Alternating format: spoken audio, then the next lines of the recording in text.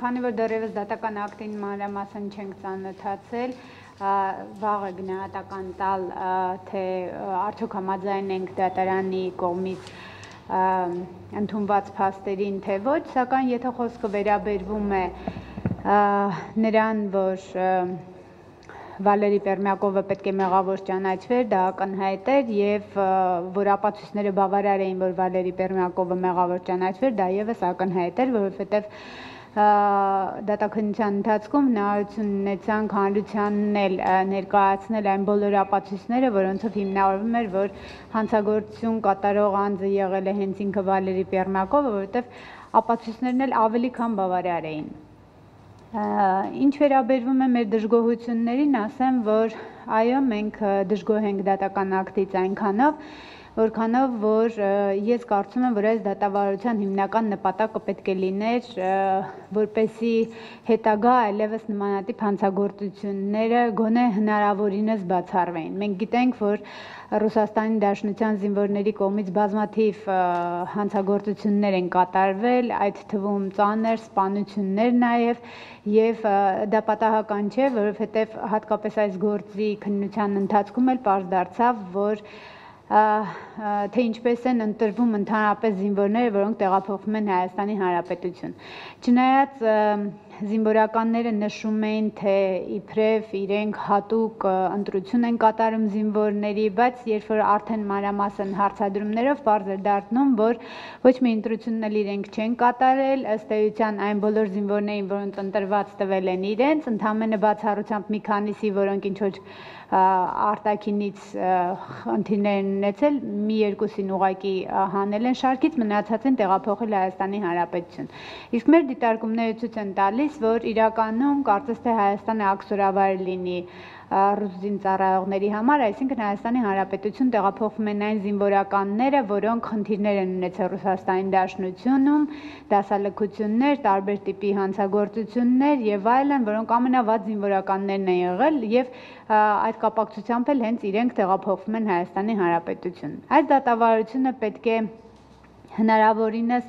բացառեր հետագա նման փաստերը եւ բացի դրանից ինչու ընդհանրապես այս հանցագործությունը հնարավոր եղավ, որովհետեւ Պերմյակովը, որ ուներ առողջական շատ լուրջ խնդիրներ, որը 8 անգամ դասալքություն էր կատարել, բազմիցս հոգեբուժական բաժանմունքներում տարբեր բուժում էր ստացել եւ Ռուսաստանի Դաշնությունում նրան արգելվել էր զենք կրել, չգիտես ինչու, երբ որ տեղափոխվել էր Հայաստանի Հանրապետություն, նրան տրամադրվել էր զենք։ Ընդ որում ասեմ, որ նրան արգելվել էր զենք կրել հենց այն իմաստով, որ բժիշկը գտել էր, որ նրա համար մարդկային կյանքը որևէ արժեք չունի։ Այդ պատճառով էլ նրան արգելվել էր զենք կրել եւ փաստորեն ստացվում է, որ Ռուսաստանի Դաշնությունում Ռուսաստանը ըստ էության անհանգստացած է Ռուսաստանում կատարվող հանցագործություններով եւ զենք չի տրամադրում զինվորներին, որպեսզի հանգարց չվտանգվի իր զինվորների կամ քաղաքացիների կյանքը, բայց երբ որ տեղափոխվում է Հայաստանի Հանրապետություն նույն անձը, նրան փաստորեն տրամադրվում է զենք։ Սա է խնդիրը, որ այս խնդիրը պետք է լուծում ստանար եւ պատահական չի, որ մենք ներկայացրել էինք քաղաքացիական հայց, չնայած քաղաքացիական հայցի մասով երևի արդեն հետագա Մարամաստ Կիվիրյանը կասի, բայց մեր նպատակն էր, որպեսզի Ռուսաստանի Դաշնությունը նաև ֆինանսական պատասխանատվության ենթարկվելով հասկանար, որ Հայաստանի Հանրապետության հետ այդպես վարվել հնարավոր չէ, որ Հայաստանի Հանրապետության քաղաքացիները դա հանդուրժել չեն հանդուրժելու եւ մեր մոտ պետք է ծառայեն առնվազն գոնե, եթե մենք ստիպված ենք, որ մեր մոտ պետք է ծառայեն ռուս զինվորականները, գոնե այդ զինվորականները իրականում պետք է ընտրյալներ լինեին։ Սա է խնդիրը, որ ես է եղել պատճառը, քանի որ մենք հասկացել ենք, որ դատարանը դատավորը շատ զգուշավոր է Ռուսաստանի դեմ կայացվելիք իր որոշումներում, մենք հասկացել ենք, որ նա որևէ անդրադարձ չի կատարի այն հանգամանքին, թե ինչու օրինակի համար պատասխանատվության չենթարկվեցին ռուս այն պատասխանատուները, պաշտոնյաները, որոնք զորակոչել էին բանակ Պերմյակովին, որոնք հետագայում նրան զենք էին տրամադրել եւ նաեւ պատշաճ հսկողություն չէին իրականացրել, որպեսզի նա փախուստի չդիմի։ Իհարկե, Հայաստանի Հանրապետության դատարանը չէր կարող նրանց դատել, դա պետք է Ռուսաստանի Դաշնությունն աներ, որը չէր արել եւ կարճել էր այս գործերը, սակայն Հայաստանի Հանրապետության դատարանը պետք է փաստեր այն ծնող պատճառները, որոնց թվում նաեւ դա էր, որի արդյունքում նման հանցագործությունը հնարավոր դարձավ։ Շատ լավ, շնորհակալություն, պարոն Սաքունց, ձեր գնահատմամբ դատավարական այս ընթացքի, հա, հետ կապված ինչ բաց կողմեր կային, որոնք շրջանցվել են ձեր կարծիքով եւ բավարար համարում եք այս դատավեճիրը։ Խնդրեմ։ Շնորհակալություն։ Նախ ես ճիշտ ասած չեմ կարող չանդրադառնալ եւ խորը ցավակցություն չհայտնեմ այսօր առավոտյան մահացել է հայտնի իրավապաշտպան Միքայել Դանելյանը ըստ էության դա բավական լուրջ ոչ միայն անձնական ցավ է, այլ նաև իրավապաշտպան գործունեությունը եւ համայնքը ունենք բավական լուրջ կորուստ։ Սա որպես տեղեկատվություն ինչ հիմա խոսքը Ավետիսյանների ընտանիքի սպանության գործին տեղի ունեցել Հայաստանի Հանրապետության 7 քաղաքացիների սպանություն ռուսական բազայի բազայում ծառայող զինծառայողի կողմից։ Այս փաստերի հիման վրա կամ այս փաստերի փաստերով իրավական գնահատականները ստանալու համար պետք է բնականաբար հենվենք Հայաստանի Հանրապետության քրեական դատավարությամբ, այսինքն Հայաստանի Հանրապետության օրենսդրությամբ եւ անխուսափելի նաեւ հայ-ռուսական պայմանագրով, պայմանագրի դրույթներով, որոնք ստորագրվել են Հայաստանի Հանրապետության եւ Ռուսաստանի Դաշնության միջեւ։ Համադրելով մենք ունենք հետեւյալ կարծիքը։ Առաջին Ավետիսյանի ընտանիքի սպանության փաստով քննությունը իրականացվել է կոպիտ խախտումներով։ Հայաստանի Հանրապետության քնչական մարմինը հնարավորություն չի ունեցել լիարժեք իրականացնել քննությունը ավելին դա խոչընդոտվել է Ռուսաստանի Դաշնության քնչական մարմնի կողմից Ավետիսյանների ընտանիքի սպանության փաստով քրեական գործի հարուցմամբ։ Որտեւ անդրադառնանք ռուս-հայկական պայմանագրի դրույթներին, որ եթե ռուսական բազայի զինծառայողը հանցագործություն է կատարում Հայաստանի Հանրապետության տարածքում, չնայած ռուսական բազան էլ է տարածք, բայց պայմանագրով սահմանում է ռուսական բազայի տարածքից դուրս, հա, այդ տարածքում Հայաստանի Հանրապետության քաղաքացու նկատմամբ, ապա այդ փաստով պետք է քրեական գործ հարուցի Հայաստանի Հանրապետության քննչական մարմինը ինչու համար եմ սա որակում որպես խոչընդոտող եւ սահմանափակող գործոն, որովհետեւ քնչական այն գործողությունները, որոնք իրականացվել են Ռուսաստանի Դաշնության քնչական մարմնի կողմից, նրանցում Ավետիսյանների ընտանիքի սպանված անդամների իրավահաջորդները ներգրաված չեն եղել այդ քրեական գործով եւ կարեւոր քնչական գործողություններ են կատարվել, քնչական փորձարարություններ եւ այլն, որոնցում ներգրաված չլինելով նաև պատշաճ չեն կարողացել իրենց շահերը եւ իրավունքները ներկայացնել այդ քննչական ապորինի իսկ բանի ապորինի քննչական գործողության մեջ։ Այսինքն մի կողմից եթե մենք նայում ենք ռուս հայկական պայմանագրի, որը կարգավորում է միջպետական հարցերը քրեական գործերի վարույթի տեսակետից, արդեն իսկ խախտում են կատարել։ Քիչ այդ խախտումը կատարեն, երկրորդ խախտումն են, եթե քննություն ես կատարում սպանության գործով, ապա պետք է լինի անպայման այդ քրեական գործով դժող դժող իրավահաջորդ կամ դժող իրավահաջորդի ներկայացուցիչներ։ Եվ մի մի փաստի վրա ուշադրությունը հրավիրեն, որ ռուսական կողմի այդ քննիչի որոշումը քնչական փորձառություն կատարելու Ավետիսյանների տանը, հենց ուղակի գրված է տանը, չի կատարվել։ Իրականացվել է մակետի վրա, որը պատրաստվել է եւ տեղադրվել է ռուսական բազայի տարածքում եւ այնտեղ ինչ որ փորձառություն են կատարել, որին մասնակից չեն եղել նաեւ ինչպես արդեն նշեցի, ընդհանրապես քրեական գործով ներգրաված չեն եղել դժողի իրավահաջորդներ, այսինքն չկան այդ պատշաճ ապահովումը։ Երկրորդը դրանից հետո արդեն այդ ամբողջ քրեական գործը գործից մի մասը տեղափոխվում է, հանձնվում է մի գրությամբ, որ հանձնում ենք ձեզ, մերոնք էլ ընդունում են Հայաստանի քնչական մարմինը եւ միացվում է Հայաստանի քնչական կոմիտեի կողմից հարուցված քրեական գործին։ Չկա որևիցե նորմ քրեական դատավարությամբ սահմանված Հայաստանի, որ կարող է երկու տարբեր երկրների, հա, նույն փաստի վերաբերյալ քրեական գործերը միացվեն իրար։ Չկան այդպիսի ընթացակարգ, մենք այդպես ենք գտնում։ Եվ այդ տեսակետից խիստ կասկածելի է դառնում ամբողջ ու ապացուցողական բազայի այդ մասը, որտեղ տեսեք, ընթացակարգային նորմերը բացի նյութական նորմից շատ էական եւ ֆունդամենտալ նշանակություն ունեն անձի իրավունքների պաշտպանության համար եւ ընդհանրապես որպեսզի մենք համարենք քննություն օբյեկտիվ բազմակողմանի եւ լրիվ։ Եթե ընդհանցակարգային նորմերը խախտվում են, ապա դա խոչընդոտում է եւ սահմանափակում է ընդհանրապես նյութական նորմերի պատշաճ իրականացման վրա։ Սա մեկ։ Երկրորդ այդպես էլ մեզ համար հայտնի չդարձավ, եթե նայենք քրեական գործի նյութերով, Բերմյակովը ինչպես հայտնվեց Ավետիսյանների տանը։ Եթե հղում կատարենք դատարանի կողմից ճանաչված ապացուցողական բազան, որը ձեռք էր բերվել ռուսական կողմի քնչական մարմինների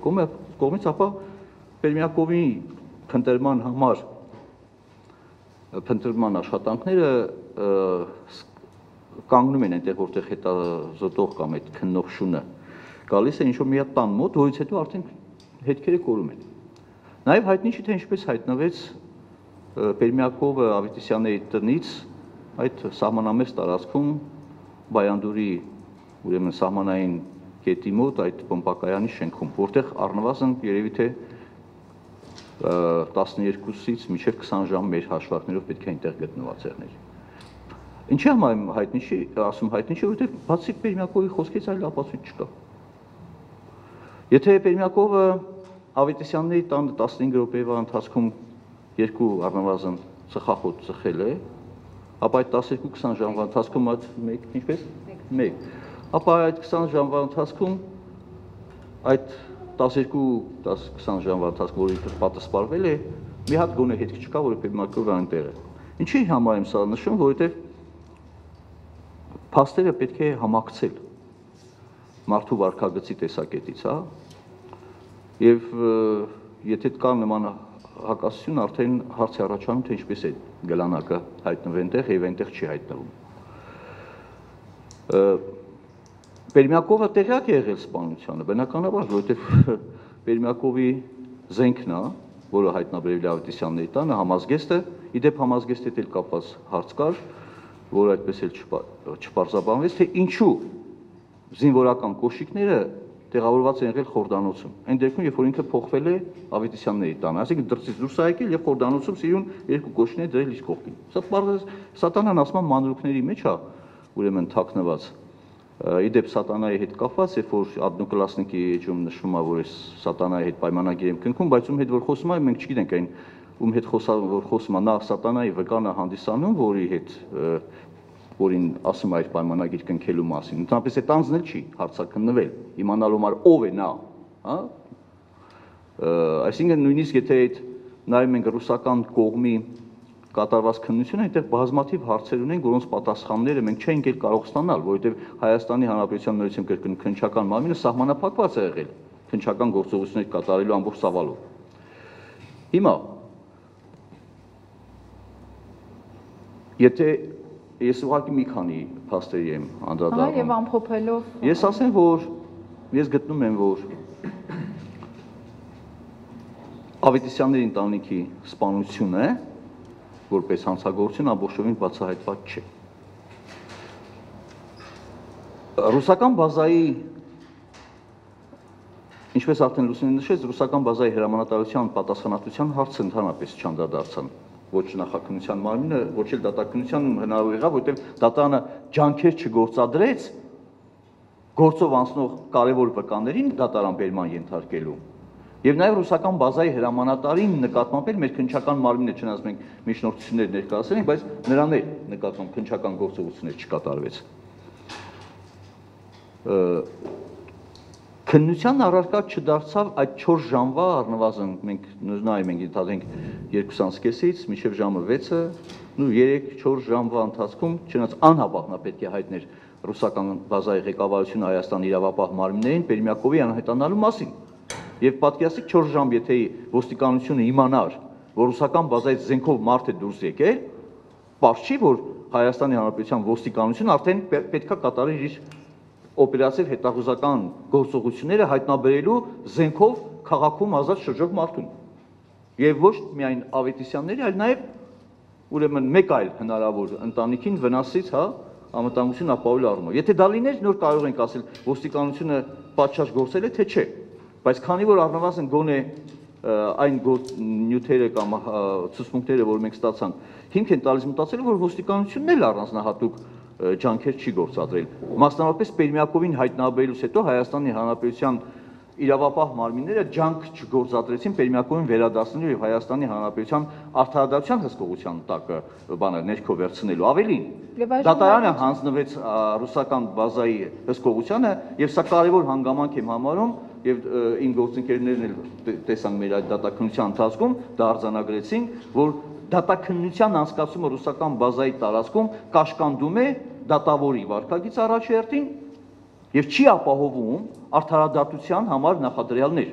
Եվ այս տեսակետից եթե դատավորը կաշկանդված է, ինչպես կարող ենք դատավորի որոշումների կամ վճռների կամ ուրեմն մեր միջնորդությունների վերաբերյալ նրա վերաբերմունքը դիրքորոշումները կամ որոշումները համարել ազատ կամ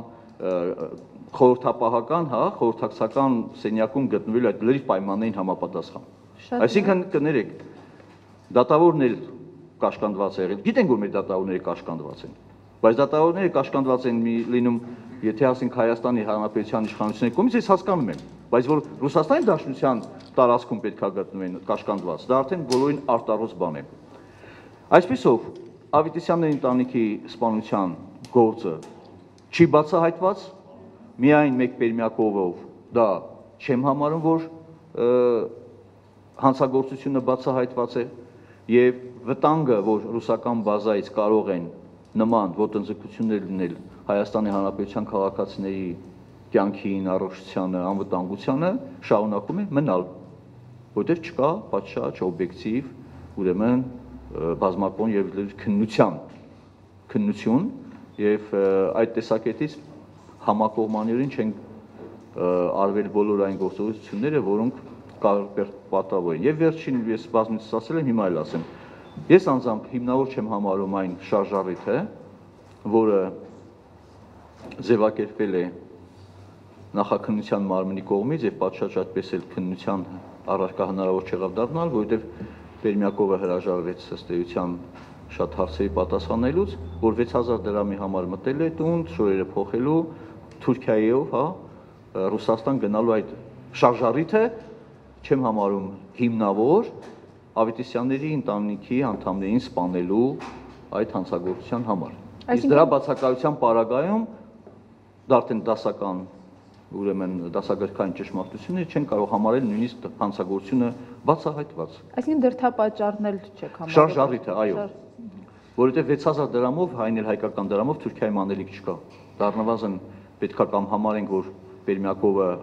անմեղսունակ է, բայց դրա վերաբերյալ չկա համապատասխան բժշկական եզրակացությունը, նման բան չեն ասել։ Ինքը պարզամիտ լինելով կամ մանկամիտ լինելով հանդես, այնուամենայնիվ շատ լավ հասկանում է, թե դրամի կիրառության սահմանները եւ ռուբլին ու դրամը լավ էլ ճոգում է ինքը։ Շատ լավ, շնորհակալություն դիտարկումների համար։ Թույլ տանք, եթե հայկերճ հավելելու եք բան Սակունցի ասացին, խնդրեմ քանի որ իմ գործընկերը ըստ էության ասում էր մենք մենք մենք ես ուղղակի ասեմ որ հա հա Ես նշեմ, որ ճիշտ ասած ես այդքան համակարծիք չեմ, որովհետև նախաքննության ընթացքում մեր համար էլ շատ հարցեր բարձ չէին։ Եվ դա էր պատճառը, որ մենք բազմաթիվ միջնորդություններ էինք ներկայացնում, բազմաթիվ վարկածներ էինք քննվում, որպեսի մեզ համար վերջնականապես པարզ լինի, թե իրականում ինչ է կատարվել։ Ուրեմն ասեմ, որ այն թե ինչ ուղությամբ է գնացել Պերմյակովը, ինչպես մինչև սպանությունը, սպանությունից հետո քրեական գործով բացահայտված է պարոն Սակունց եւ քրեական գործով բազմաթիվ ապացույցներ կան ձեռք բերված եւ պետք է մենք մի բան հասկանանք, որ եթե մենք մի բան դնում ենք կասկածի տակ, պետք է ասենք օրինակ ինչ չի արվել Համենայն դեպս մենք գրեթե բոլոր միջնորդությունները, որոնք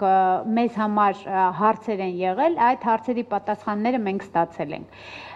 մի բան ակնհայտ է, շատ դժվար է հավատալ այս հանցագործությանը։ Դժվար է հավատալ, որովհետև մենք նայում ենք սովորական տրամաբանող մարդու աչքերով։ Տրամաբանող մարդու համար դժվար է հավատալ, որ կարող ես մտնել հակուստ փոխելու եւ ինչ որ գումար հայթայթելու եւ 7 հոգի սպանես շատ դժվար է։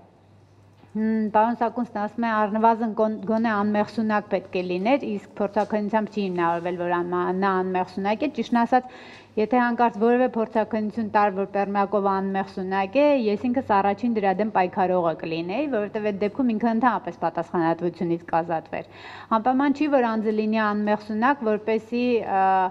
մենք ասենք, որ այ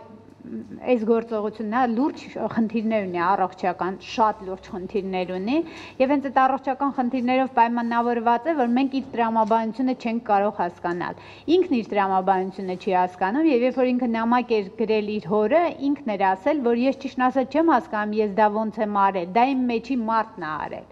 Այսինքն մենք մենք գործ ունենք հիվանդ մարդու հետ Նորմալ մարդը չի կարող պատկերացնել, լավ, եթե մեծահասակներին սպանեցիր, որպեսի չբացահայտվի քո հանցագործությունը, բա փոքրերին ինչի սպանեցիր։ Լավ, եթե նույնիսկ այն երեխային, որը խոսում էր, որ ինչ որ բան կարող էր նկարագրել, Եվս այդ տրամաբանությամբ սպանեցիր, բա 6 ամսեք այն ինչի սպանեցիր, բայց մենք գործ ունենք հիվանդ մարդու հետ։ Ինքն էլ չգիտի ինքը ինչ է արել։ Ինքն էլ չի հասկանում ինչի արեց։ Իմ նervերի վրա ազդեց ինքը, ասում է, դրա համար սպանեցի։ Գորում էին, լացում էին, նervերից վրա ազդեցին, սպանեցի։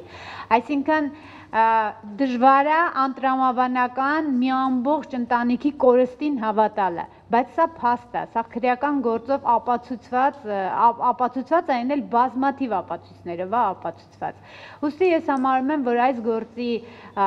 ամենալուրջ խնդիրը նա է, որ իրականում պատասխանատվության չընթարկվեցին այն առողջ մարդիկ, որոնք հիվանդ մարդու ձեռքը զենք էին տվել։ Սա է մեր ամենամեծ խնդիրը եւ մենք պետք է ամեն ինչ անենք, որպեսզի Ռուսաստանի Դաշնությունը դա հասկանա։ Երբ որ մենք ասում ենք, որ չբացահայտվեց հանցագործությունը, որ པարզ չէր թե ինչ է իրականում կատարվել, ըստ էության մենք ոնց որ Ռուսաստանի Դաշնությանը փորձ ենք անում այդ պատասխանատվություն զերծ պահել, որովհետև երբ որ բացահայտված չի ինչ ա եղել, ով ա եղել, բա ինչի ենք ասում Ռուսաստանի Դաշնություն, դու մեղավոր ես։ Կարող է Ռուսաստանի Դաշնությունը ընդհանրապես ոչ մի մեղք չունի։ Կարող է այնտեղ ուրիշ անցագործություն ա կատարել, եթե մենք ասում ենք ոչ մի բան բացահայտված չի, բայց չեմ կարողանում պատկերացնել, թե նման ապացույցների տարափի տակ ոնց կարելի է, ասենք, մտածել, որ բացահայտված չի հանցագործություն։ Ես վերստին ճշտեմ եւ պնդեմ։ Բացի Պերմյակովի ինքնախոստովանական ցուցմունքներից Ավետիսյանների տուն գնալու տնից դուրս գալու վերաբերյալ այլ ապացույց գործում չկա։ Չկա գործով նաև հիմնավորված, թե հիվանդ մարդու առողջական գործոնը ինչ ազդեցություն է ունեցել հանցագործության այն փաստական հանգամանքների վրա, որ ներողություն։ Եթե փորձագետներն ասում են, որ ինքը ունի parzamի եւ այլն, մանկամիտ եւ այլն, հարցը դա չի։ Հա, հիմա, բայց դրանց նշանակությունը այդ գործողությունների վրա, որ ասենք թե ընդհանրենք նման տիպի հանցագործությունա կատարվել չկա, բայց մի ուրիշ վարկած։ Ընդհանրապես քննությունը պետք է մի քանի վարկածներ վարկածներ ընդունի եւ դրանցողությամբ քննություն տանի եւ հերքի։ Իսկ այդ նման հիվանդ մարդը չէր կարող օգտագործվել մեկ այլ մարդկանց կողմից, դրան պատասխան չկա այդ վարկածին։ Առավել եւս կարող էր օգտագործվել բայց չի բայց չկա այդ վարկածը այդ ուղությամբ կարող էր լինել ով ով է քննվել Շատ լավ, կարծում եմ այս հարցի հետ կապված ձեր հետագա դիտարկումները կներկայացնեք, թույլ տանք այժմ պարոն Կիվիրյանին իր դիտարկումները ներկայացնելու դատաքննության եւ նաեւ նախաքննության փուլի հետ կապված միացված է կարծեմ։ Խնդրեմ։ Չէ, միացրեք, հիմա միացրեք։ Հիմա միացված է, խնդրեմ։ Ընդհանուր առմամբ դիրքորոշումը հետեւյալն է, այո, պատասխանության ենթարկվեց եւ պատիժ սահմանվեց հանցագործություն կատարած անձի նկատմամբ, սակայն այստեղ խնդիրը ոչ միայն իր նկատմամբ ինչ որ պատժատեսակ սահմանելն էր, այլ նաեւ բացահայտել բոլոր այն մարդկանց, բոլոր այն անձանց, ովքեր որ իրենց գործողությամբ եւ անգործությամբ ըստ էության, այսինքն որոնց գործողությամբ եւ անգործությամբ ըստ էության տեղ ունեցել նմանատիպ հանցագործություն որովհետև ինչպես նաև իմ գոլեգա Մուսնե Սահակյանը նշեց, այո, այստեղ խնդիր կար, որ ուրեմն քննություն կատարվեր պատշաճ կարգով, ուրեմն ռուսական կողմի մասով, կարծում եմ, որ այդ քննությունը այդպես է պատշաճ տեղի ունեցավ, այսինքն կային մարդիկ, ովքեր իրոք պատասխանատու էին այդ հարցում, թե ինչպես ի վերջո Պերմակովը ունենալով առողջական խնդիրներ, որի վերաբերյալ կան համապատասխանապացույցներ, ունենալով տվյալներ, այսինքն փաստ է, հա, որ ինքը Ռուսաստանում մոտ 10 անգամ դասալոգություն է թույլ տվել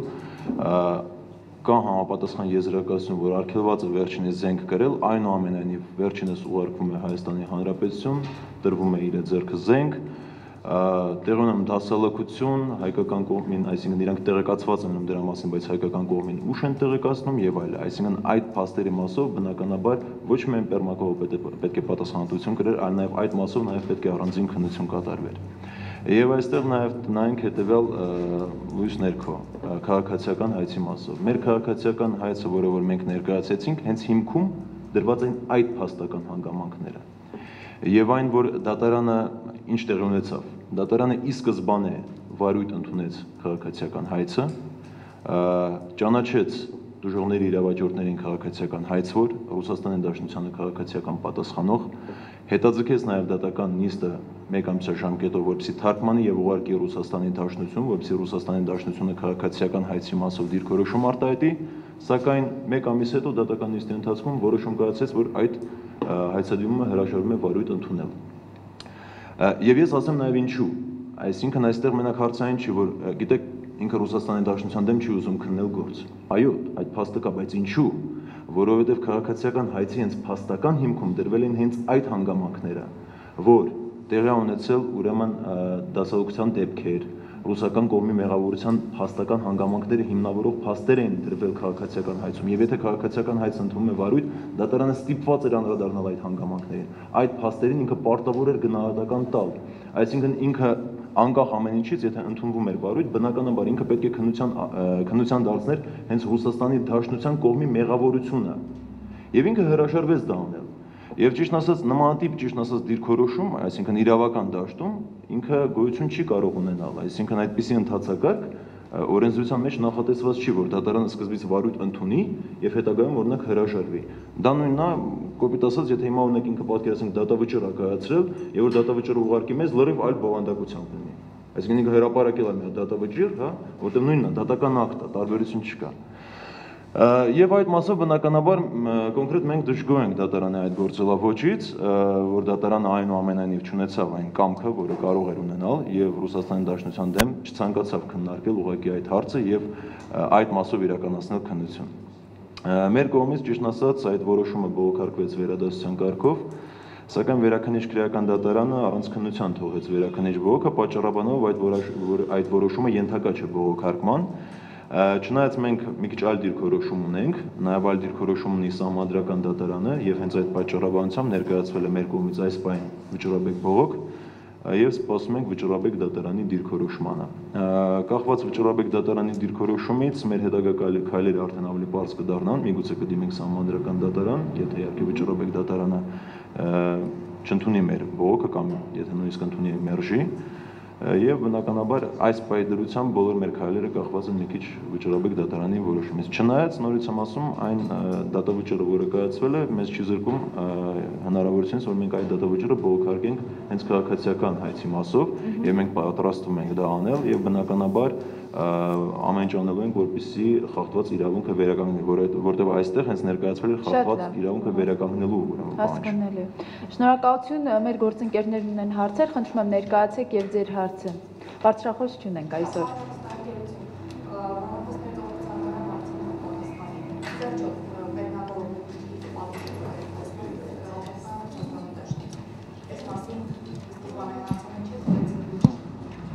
Ահա, խնդրեմ։ Լուսինե։ Ես ասեմ, որ Կներկանեք, որ լրատվամիջոցը։ Կոմսոմոլսկայա պրավդան գրում էր, որ Վալերի Պերմակովի պատիժը կգրի ոչ թե Հայաստանում, այլ Ռուսաստանի տարածքում, դրանք նաև նկատել է, որ Պերմակովի հանձնումը Ռուսաստանին կարող է դժգոհությունների առաջացնել Հայաստանի բնակչության շրջանում։ Կոնկրետ հիմա տպավորություն է ստեղծում, որ Ռուսաստանը արդեն որոշել է եւ անելիք չունի։ Նույնիսկ իրենց մամուլն է այդպեսի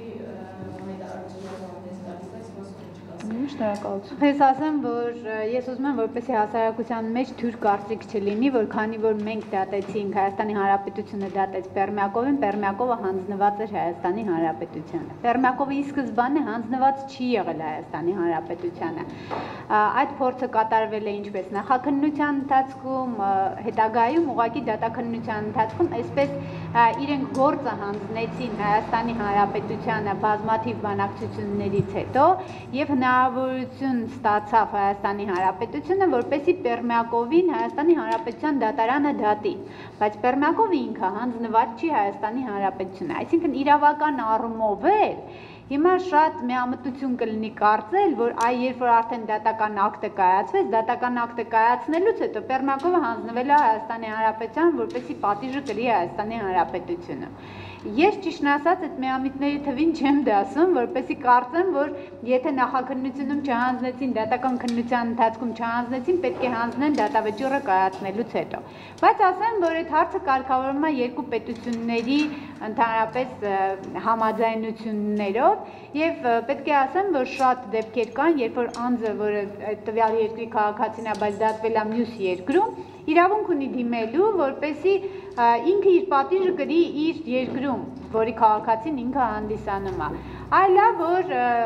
երկու պետությունների միջև համաձայնությամբ է հետագայում որոշվում դա, թե իրականում որտեղ նա պետք է գրի։ Պերմյակովի պարագայում մի քիչ այլ է, նա արդեն իսկ հանձնված չէ Հայաստանի։ Շնորհակալություն։ Ես մենակ մի բան ավելացնեմ, որ մենք դեռ նախաքննության ընթացքում կարծեմ, չգիտեմ, գործընկերներից կողմից ե, արվել է թե չէ, գուցե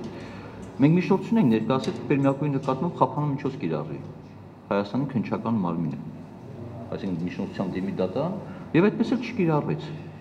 Այսինքն Պերմյակովի նկատմամբ Հայաստանի Հանրապետության դատարանի կողմից խափանման միջոց չկա։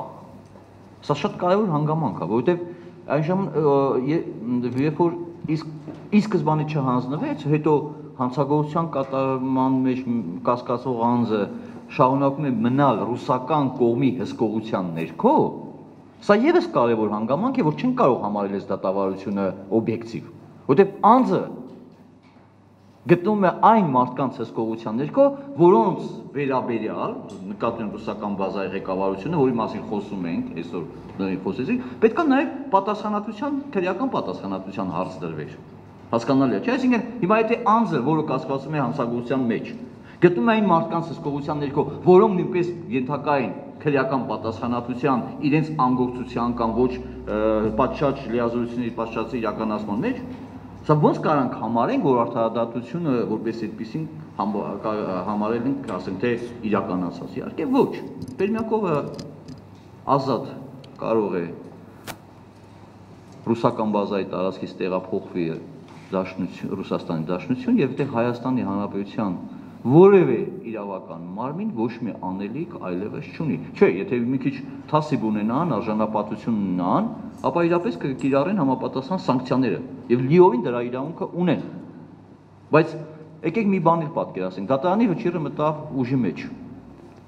Հենց այդ պահից, երբ որ ուժի մեջ համտնում է դատարանի դատավորը կարգադրություն է տալիս, հա, համապատասխան մարմին պատիժը կրելու համար։ Ում է տալու։ Ասենք թե պետքա տա արտադրության նախարարության, չէ, կամ քրեակատորական վարչության, որ այս մարդու նկատմամբ ծմա ուրեմն բանտարկությունը, հա,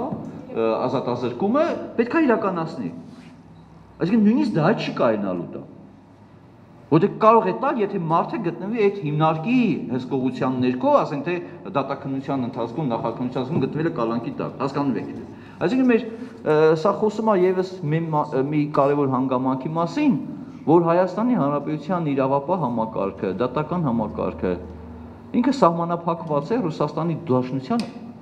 ապօրինի գործողություններով եւ Հայաստանի Հանրապետության իշխանությունները որևէ քայլ չեն կատարում այդ ապօրինությունը վերացնելու համար։ Այո, խոսենք տեղափոխելու մասին։ Չէ, եթե արդեն կորոշեն թե ինչ կան, կարող են նույնիսկ չհայտնել մերոնց մեր բանին։ Վերմակովը կտեղափոխվի, բայց այդ չի չեմ հասկանում թե որտեղից ցակեց այդ հանձնելու մասին արտահայտությունը։ Ես համաձայն եմ լուսիների։ Այդ կարծես արհեստական ինչ-որ դիսկուրս է սկսվում եւ այնպեսի կես տպավորություն է, որ իբրև թե Հայաստանի իշխանության հսկողության ներքո է, ու հիմա խոսում ենք հանձնելու մասին։ Եկեք թարգենք այդ խոսակցությունը։ Հայաստանի Հանրապետությունը բացարձակապես որևէ հսկողություն Ավետիսյանների ընտանիքի սպանության մեջ մեղադրվող անձի կամ այլ անձանց, որոնք պետք է ենթարկվեն, չունի։ Խնդրեմ։ Այդ երբ որ տեղափոխվի Ռուսաստան, կարող է միակողը հայց ներկայացնի վճիրը վերանայելու Ամեն ինչ էլ կարող է։ Ես գիտեք, այն ինչ որ կատարում է Ռուսաստանի Դաշնությունը իր ապօրինի գործողություն, ես գիտեմ որ չի կարող, բայց կանի։ Չէ։ Միրբե։ Նա չի կարող նա չի կարող նաև քրեական գործ հարուցել, բայց հարուցեց։ Սակայն այսինքն վճիրը հրապարակելուց հետո այլևս Հայաստանյան դատական համակարգը որևէ իրավասություն չունի դրա պատժողային։ Խնդրեմ Չէ, Լուսինե, ես ասեմ, որ դա այդպես չի, եթե անձը կրում է պատիժ այլ երկրում, դա չի նշանակում, որ այլ երկիրը իրավասություն ունի։ Ես հասկանում եմ ինչ է ասում Սակունցը, որ այսինքն անօրինական ամեն ինչ է հնարավոր անել, անօրինական մենք եթե խոսենք օրենքի սահմաններում, ոչ։ Ռուսաստանի Դաշնությունը չի կարող այս դատական ակտը փոխել, եթե բացառություններ կան, եթե ասենք իր մոտ դա հանցագործություն չի համարվում եւ այլն, սա լրիվ ուրիշ խնդիրն է։ Տվյալ պարագայում չի կարող փոխել եւ բացի դրանից, եթե նույնիսկ անձը կրում է այլ երկրում պատիժ, այլ մյուս երկիրը պատասխանատու է դատական ակտ կայացրած երկրի արչև եւ ամեն ինչ չի որ իրանք կարող են անել իրանք չեն կարող ուղակի չնայած պատիժը կրում է իրանց մոտ իրանք անեն այն ինչ որ իրանք ցանկանում են անել օրինակ ազատ արձակեն իրավունք չունեն բայց ես սակունցի դիտարկման հետ համաձայն եմ որ նման ապօրինության պայմաններում ես ոչինչ չեմ բացառում Չնայած անկեղծ ասեմ, չեմ մտածում, որ Պերմակովի պարագայում Պերմակովը որևէ կերպ որևէ ժամանակահատվածում կհայտնվի ազատության մեջ։ Ես ուղղակի ուզում եմ հիշեցնեմ Ռամիլ Սաֆարովին Հա, դե հա։ օրինակը։ Այնպես որ շատ հեռու չեն, հա, Ռուսաստանի բայց- Սա այդ նույն դեպքն է, տիպիկ, ի՞նչ տարբերություն։ Չդա։ Ինչպես։ Դեռևս դեռևս օրինական ուժ չի ստացել դատական ակտը, մինչև օրինական ուժ չի ստացել ընդհանրապես որևէ գործողություններ այդ կապած չեն կարող անել, բայց դրանից հետո արդեն չկա որևէ Ինչ ժամկետում է օրինական ժամկետ, ուժ թե- ստանում։ Եթե չբողոքարկվի 1 ամիս։ Ահա։ Կան այլ հարցեր, կկրկնեք նորից հարցը։ Բաժի կրնով հայտնի մասով հայկական կողմը այլևս այլևս ոչ ոչ չի ասեն իրավասություն որևէ չի որոշել։ Եվ ո՞նց է որ Եթե հատուկ եթե հատուկ Հայաստանի Հանրապետությունը չմիջամտի, հատուկ նորից չպահանջի, որպեսզի նա պատիժը կրի Հայաստանի Հանրապետությունում, եթե մնա ամեն ինչ այնպես ինչպես որ հիմա կա, ոչ, ոչ մի բան չի կարող անել, բայց եթե միջամտի, փորձի եւ այլն, որպեսզի այստեղ կրե, Պատիժը, չգիտեմ ինչ կստացվի։ Նորից եմ կրկնում, արդեն մի անգամ ասել են Հայաստանին, որ չեն հանձնելու։ Հիմա ինչ պատճառաբանություն պետք է Հայաստանի Հանրապետությունը գտնի, ասի, այ հիմա քանի որ դատական ակտ եմ կայացրել, հիմա հանձնեք։ Նման բան ուղղակի իրավական առումով այլևս անհնար է։ Եկեք sense բան։ Հայաստանի Հանրապետության քրեակատարողական օրենսգրքով Երբ որ դատարանի որոշումը մտավ ուժի մեջ, դատավորը այդ դատա, ասենք, ասենք վճաբեկ դատարանում, չէ, բողոքարկվեց։ Ենթան ինքան չբողոքարկեց առաջացան։ Այս դատավորը պետքա կարգադրություն տա համապատասխան մարմնին, իր կողմից ընդունված որոշումը պատիժը կրելու վերաբեր իր ապահովելու։ Հիմա օրենքը հիմա ես հասկանում եմ, որ այս որոշման մեջ չպետք է գրել, բայց բայց սա մեր օրենքի պահանջն եմ ես ասում։ Ուժի մեջ մտնելուց հետո դատավորը պարտավոր է օրենքի ուժով կարգադրություն տա համապատասխան մարմին, որ այդ մարդը ում նկատմամբ որոշում է կայացրել ծմա ազատ ազրկում, պատիժը համապատասխան քրեակատվական հիմնա։ Հիմա շատ հետաքրքիր է, երբ որ այդ պահը գա, որ ուժի մեջ մտնի։ Ինչ են անելու մեր դատավոր։ Պետք է ասի, ես այդ օրենքով սահմանված այդ կարգադրություն չեմ արձակում, քանի որ ես հնարավորություն չունեմ այդ կարգադրությունը կատարելու համար, հա շատ կարևոր հարց է։ Հիմա ենթանին գլուխ պահեցին, ասի դե լավ օրենքով հիմա պարտավոր չեմ ես նշելու իմ որոշման մեջ կամ վճռի մեջ, որ այսինչ տեղը Բայց հենց որ ուժի մեջ մտավ, արդեն օրենքի ուժը նա պարտավոր այդ կարգադրությունը տալու։ Շատ հետաքրքիր է։ Ինքը նորից օրենքի պահանջը չի կատարելու։ Ես մի բան ասեմ, որ ժամանակին մենք բարձրաձայնել ենք, որ այն պահից սկսած, երբ որ Հայաստանի Հանրապետության համապատասխան իրավապահ մարմինների դա ոստիկանություն ազգանտանության ծառայությունը, հետո մենք պարզեցինք դատական նիստի ընթացքում, որ ես տեղյակ եմ եղել եւ մինչեւ ռազմաբազա տեղափոխելը Պերմյակովի, իրեն գտնվել են այնտեղ, դեռ մի բան էլ ուղեկցել են, որ տանեն 102-րդ ռազմաբազա։ Սխալը այստեղ է սկսվել Այս պահից սկսած այլևս որևէ իրավական ընթացակարգ իրականում չկար Պերմյակովին Հայաստանի Հանրապետություն հանձնելու, որովհետև վերջին հաշվով դա արգելք է եւ կոնվենցիա է եւ սահմանադրության իմաստով երկիրը չի կարող իր քաղաքացուն հանձնել այլ երկրի։ Դա ուղղակի արգելվում է։ Եվ խնդիրը այ հիմա որ այսպիսի խնդիրներ են, այո, ինչ է լինելու։ Հիմա մենք արտառոց իրավիճակ ունենք։ Իրականում այսպիսի դեպք չի լինում, որ անձը գտնվի այլ երկրի իրավազորության ներքո, բայց դատի մեկ այլ երկրի դատարանը։ Բայց մենք այդ հնարավորությունը ըստ էության ունեցանք։ Հիմա հենց այդ այս իրավիճակներում, այո, ստեղծվել է այնպիսի իրավիճակ, որ շատ տարօրինակ իրավիճակ է։ Ի սկզբանե սխալ այնպիսին է եղել, անգործությունը մեր իրավապանների, նույնիսկ գործողությունը, որովհետև իրենք ուղեկցել են 102-րդ ռազմաբազա։ Այդ պահից սկսած սխալը սկսվել է ու հիմա իրականում իրավական լուծում այս հարցը չունի։ Այսինքն դրանը դատա ուժի մեջ մտավ ոչ կներ կարծակեն, հա, դատարանը իր ժամանակացակի կգնան Ուրեմն տեսեք ոնց է։ Հայաստան ես ուզում եմ եկեք հստակեցնենք Հայաստանի Հայաստանի Հանրապետության օրենսդրությունը հստակ սահմանում է ինչ պետք է անի։ Այլ հարց է կշարժվեն օրենսդրության պահանջներին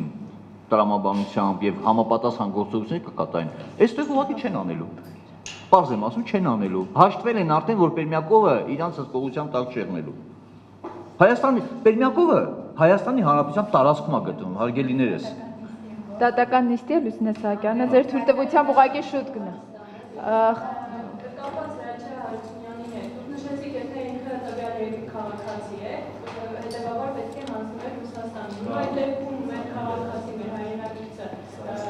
Հայաստանի Հանրապետության քաղաքացի է, բայց դատը անցկացվել այնտեղ պատիժը կրել է այնտեղ։ Ինչքանով է դա իրատեսական։ Հրաչյա Հարությունյանը իրավունք ունի դիմելու եւ այդ հարցը պետք է քննարկվի։ Այսինքն, երբ որ կա դատական ակտ, արդեն երբ որ դատապարտյալ է անձը դառնում, նա իրավունք ունի դիմելու։ Ես ճիշտ ասած Հրաչյա Հարությունյանի պարագայում չգիտեմ թե ինչ է իրականում տեղի ունեցել, դիմումը եւ այլն։ Շատ լավ, այդ հարցի հետ կապված մյուս բանախոսները Ես կպատասխանեն։ ասել կներեք։ Հրաչյա Հարությունյանը հանցագործությունը կատարել է Ռուսաստան Դաշնության տարածքում։ Մի սկզբանե գտնվել է Ռուսաստանի Դաշնության իրավապահ մարմինների հսկողության տակ, նրա նկատմամբ դատաքննություն իրականացրել է Ռուսաստանի Դաշնության դատա։ Դա նորմալ է։ Հա, չպետք է համեմատել։ Պերմյակովը գտնվում է Հայաստանի Հանրապետության տարածքում, բայց ռուսական բազայի հսկողության ներքո, որովհետև չպետք է գտնվել, հասկանալի է, ճիշտ տարբեր է։ Շատ լավ, պարոն Կիվիրյան, հարցի հետ կապված եթե դիտարկում ունեք, խնդրեմ։ Ընդհանուր առմամբ չէ։ Բարձրախոսը կմիացնեք։ Ա, կմիացնեք, անջատի։ Համակարծիք եմ այդ առումով ուղղակի այո, այսինքն այն ծուր կարծիքը չպետք է լիներ, որ խոսքի ասենք ինքը ի սկզբանե հանձնված է, ինքը հանձնված չի եղել եւ ուղղակի այն հանգամանքը, որ ուրեմն Հայաստանի Հանրապետության դատարաններ քննում այդ գործը դեռևս չի նշանակում, որ դեռ ունեցել հանձնում։ Ուղղակի միգուցե հենց այդ ձևով փորձեցին այնպես անել, որպեսզի նաև հասարակության մոտ ստեղծվի այդ սեզան ձևական ինչ որ դիրքորոշումը, որ տեսեք, ուրեմն Հայաստան դատարանն ուրեմն ուրեմն նորմալ է, նաև դրանից հետո կարծես թե մի քիչ հասարակությունը այդ առումով այդ հարցին այդքան շատ անդրադարձ չկատարեց, բայց նորից եմ ասում, այդ հարցը չկար, այսինքն այստեղ մենք դեռ տեսնելու ենք էլի, թե ոնց է հետագա զարգացումը տեղի ունենալու։ Շատ լավ, խնդրեմ ձեր հարցը։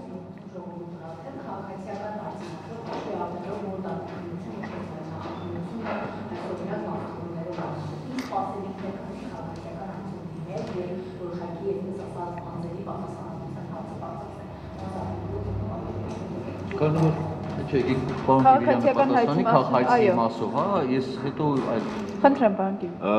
Քաղաքացիական հայցի մասով ես ինչպես ասացի,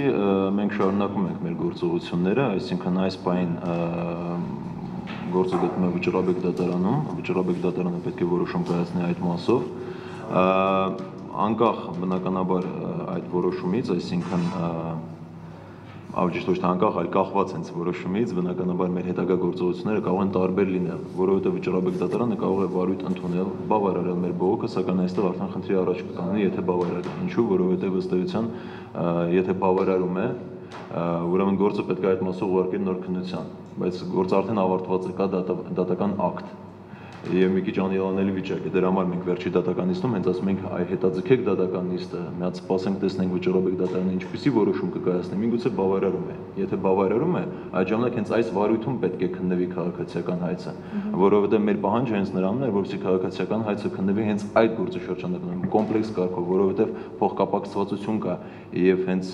արդար դատականության իրավունքի ենթատեքստում շատ կարևոր էր, որպեսզի քաղաքացիական հայցը քննվեր հենց այդ վարույթում։ Եթե վճռաբեկ դատարանը ըստ էության վարույթ չի ընդունում կամ թեկուզ վարույթ ընդունում է եւ մերժում է մեր ներկայացած վճռաբեկ բողոքը, այդ ժամանակ մենք կարող ենք հնարավորություն ունենք դիմելու համանդրական դատարան, որովհետեւ այստեղ համանդրականության հարց կա, քանի որ դատարանները հաստատել են, որ իբր այդ որոշումը ենթակա չէ բողոքարկման, չնայած մեր համոզմամբ այն ենթակա է բողոքարկման։ Եվ բնականաբար առանձին արդեն, քանի որ կա արդեն դատական ակտ, դատավճիռ, այդ դատավճիռը մենք պատրաստ ենք նաև բողոքարկենք քաղաքացիական հայցի մասով եւ արդեն հետագա ընթացքը ցույց կտա ընդհանուր մինչեւ եվրոպական դատարան։ Մնացած ամեն ինչը կախված է մեր ներբատական, այսինքն դատական ացիաներից, թե իրականում ցանկություն կլինի այդ մասով կատարել օբյեկտիվ քննություն, թե ոչ։ Համենայն դեպս այս փուլում կարող ենք արձանագրել, որ այդպիսի ցանկություն եւ կամք չկա։ Ես ուղղակի ուզում եմ հիշեցնել, որ Ավետիսյանի ընտանիքի իրավահաջորդներից Արաքսիա Պողոսյանի իրավահաջորդի ը, Անդրանիկ Պողոսյանի կողմից Եվրոպական դատարան արդեն դիմում ներկայացել ենք ռուսական բազայի, ընդհանրապես Ռուսաստանի Դաշնության պատասխանատվության հարցով, հա, որտեղ ը, նախաքննության նյութերը ռուսական կողմից արդեն հայտնի է եղել մեզ այն փուլում եւ 6 ամսվա շրջանում առանց դատականացիաները սպառելու եւ այն հիմնավորման, որ դժողների իրավաճորտների իրավունքների պատշաճ պահպանված չեն եղել եւ անմիջական են պատասխանատվություն եկերում այդ շրջանակներում իհարկե նաեւ եվրոպական դատարանը նյութական եւ բարոյական վնասի հարցը կքննարկի։ Ուղղակի այստեղ Հայաստան, այսինքն մենք երկու ճանապարհով գնալու հաստորեն հնարավորություն ունենք։ Պարզապես խնդիրը կանում են անում, եկեք հասկանանք, որ եթե Ռուսաստանի Դաշնության բազայի ռուս- ռուսական բազայի ղեկավարության պատասխանատվության հարցը չի դիտարկում դատարանը, հա, ինքը բավական դժվարացնում է։ Այսինքն դուրս է գալիս ամբողջ այդ հանցագործությունը փորձում են տեղավորել մի հատ Պերմյակովի անձի վրա, որը անհամապատասխան է, հա, եւ չի համապատասխանում այդ հանցագործության ամբողջ ծավալին, որտեղ իրապես դու պարտավոր ես դա շարքային քաղաքացի չի, որ եկավ սպանեց։ Ինքը պետության հսկողության ներքո է գտնվում։ Ռուսաստանի Դաշնության հսկողության ներքո զինված մարդու կողմից է կատարված, չէ՞ հանցագործություն, եթե տրամաբանության լինի։ Այո։ Եվ հետեւաբար պետության հսկողության ներքո գտնվող անձի գործողության համար պետությունը ուղղակի պատասխանատվություն ունի։ Հիմա եթե դատարանը փաստորեն քաղաքայցը չի ուզում դիտարկել այդ տեսակետից, դա նշանակում է ինքը չի, այսինքն ինքը հրաժարվում է պատասխանատվությունը տեսնել ռուսական դաշնության ռազմական բազայի։ Իսկ դա նշանակում է ճանապարհ դեպի նոր հանցագործությունների։ Շնորհակալություն, խնդրեմ, ձեր հարցը կապված է Լիլիթ ստացվում է այնպես, որ Հայաստանը ոչ մի բան չի կարող անել, որպեսզի Բերմակովը պատիժը կրի այստեղ։ Այդ դեպքում չկա ինչ-որ միջոց կամ իրավական տեսանկյունից եթե նայենք ինչ-որ պայման ներկայացնենք, որ եթե ձեր քաղաքացին պատիժը կրի այստեղ, եթե մեր քաղաքացին պատիժը կրել է Ռուսաստանում, ապա ձեր քաղաքացին պատիժը կրի մեր մոտ։ Իսկ Եթե ոչ, ուներ փոխանակում իրական։ այսինքն զուգահեռ տանելը իրավական Կներեք, շատ ա- անգամ կներեք, անթույլատրելի է մարդկանց առևտուրը։ Մեկ։ Հրաչյա Հարությունյանի դեպքը բոլորովին այլ դեպք է։ Սա իրավական բոլորինակ։ տեսակետ Հրաչյա Հարությունյանի դեպքը պետք է դիտարկել էքստրադիցիայի, հա, արտահանձնման շրջանակներում եւ չպետք է պայմանավորել Պերմյակովի հետ կապված Ավետիսյանի ընտանիքի սպանության, հասկանալի է, չէ՞։ Եկեք նախ եթե նույնիսկ ընդունենք ձեր տրամաբանություն, դու պետքա ունենաս որ փոխանակես։ Համ Հրաչ Հարությունյանն է իրանց ենթակայության, համ Պերմյակովն է, ի՞նչն է փոխանակում։ Չէ, չէ։ Ժողովուրդ ջան, եկեք մի բան, ես դա հասկանում եմ դժվար է պատկերացնելը։ Պերմյակովը ի սկզբանե գտնվել է Ռուսաստանի Դաշնության հսկողության ներքո։ Եվ բազային ծառայության ժամանակ, եւ հանցագործության կատարելուց հետո հայտնաբերելուց հետո, եւ նախաքննության փուլում, եւ դատականության փուլում Հայաստանի Հանրապետությունը որևէ հսկող դուք չեք տեսնում, այնտեղ Պերմյակովին դատարանի դահլիճ բերում էին ռուսական բազայի զինվորները։ Հանձնում էին դատարանի դահլիճ մոտ մեր կարգադրիչներին, նրանք այդ ձեռքից վեսում բերում էին ներս։ Ով դրանից հետո որից մեկը կարող էր ասեն թե չէ, գիտեք ոնց է դատարանից բային որոշում է կայացնում խափան միջոց կալանքը եւ տեղափոխում Հայաստանի քրեակատորական հիմնարկ։ Այդ դատավորին էլ տեղ կձերբակալեին ամբողջ դատարան դատարանի մասնակիցներին հետ։ Կասեն թե Պերմյակովը միջև չեք հանձնում, ստերից դուրս չեք գալիս։ Հա դա էր ամբողջ բանը։ լավ, այստեղ ռուսական կողմին հանձնելու կամ ինչ որ փոխանակելու հարցն էս չի կարող այստեղ։ Հարցը դրանն է։